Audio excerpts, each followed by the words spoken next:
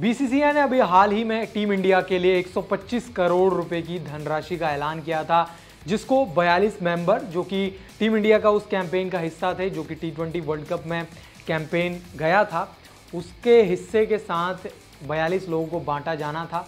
तो अब ऐसे में अगर देखें तो टीम इंडिया, जो 15 सदस्यीय टीम थी, उसको पाँच पाँच करोड़ रुपए दिए जाने थे और उसमें राहुल द्रविड़ को भी पाँच करोड़ रुपए दिए जाने थे। अब ऐसे में रिपोर्ट्स के मुताबिक खबरें ये हैं कि राहुल द्रविड़ ने अपने ढाई करोड़ रुपए जो थे, वो बीसीसीआई को लौटा दिए हैं और उन्होंने ढाई करोड़ रुपए रखे हैं और ढाई करोड़ लौटाने के पीछे जो वजह उन्होंने बताई वो यही है कि बीसीसीआई से उन्होंने कहा कि जो बाकी कोचेज़ हैं, जो बाकी सपोर्टिंग कोचेज़ हैं, जिसमें बैटिंग कोच बॉलिंग कोच और फील्डिंग कोच उनको जितना पैसा मिलेगा, उतना ही मैं भी लूँगा।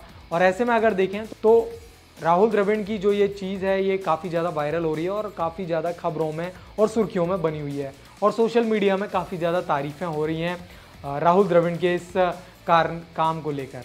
अब ऐसे में अगर देखें तो टीम इंडिया के जो पंद्रह सदस्यीय स्क्वाड था, उनको पाँच पाँच करोड़ रुपए दिए जाने थे और इनके साथ ही राहुल द्रविड़ को भी पाँच करोड़ रुपए दिए जाने थे। इसके अलावा अगर देखें तो जो टीम के सपोर्टिंग कोच थे, जिसमें बैटिंग कोच जो थे विक्रम राठौर, इसके अलावा फील्डिंग कोच टी दिलीप और जो बॉलिंग कोच जो थे, इनको ढाई ढाई करोड़ रुपए दिए जाने थे। और ऐसे में अगर देखें तो राहुल द्रविड़ ने जो है, ये ढाई करोड़ अपने लौटा दिए हैं। ये कहकर कि ढाई करोड़ रुपए जो बाकी कोचेज़ को मिल रहे हैं, उतने ही मैं भी रखूँगा। तो ऐसे में इसकी काफ़ी ज़्यादा तारीफ़ें हो रही हैं।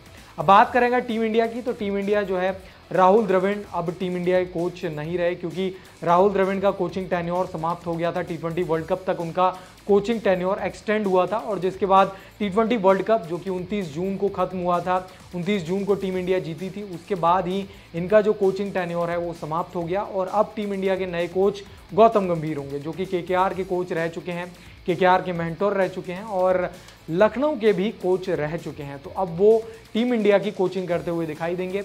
और राहुल द्रविड़ जो है, उनका कोचिंग टेन्योर समाप्त हो गया है। स्पोर्ट्स से जुड़ी तमाम खबरों के लिए वन इंडिया हिंदी के साथ बने रहें।